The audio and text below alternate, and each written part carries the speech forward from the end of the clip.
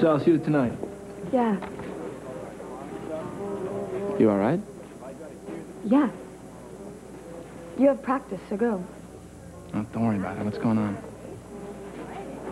It's Hanna. Um, Noel's confused, so. Oh.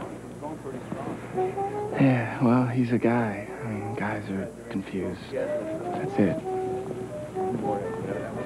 Things are gonna work out. I'm, I'm sure of it. Why are you so sure of it?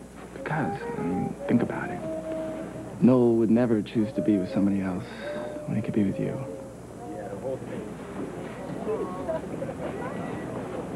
Thank you.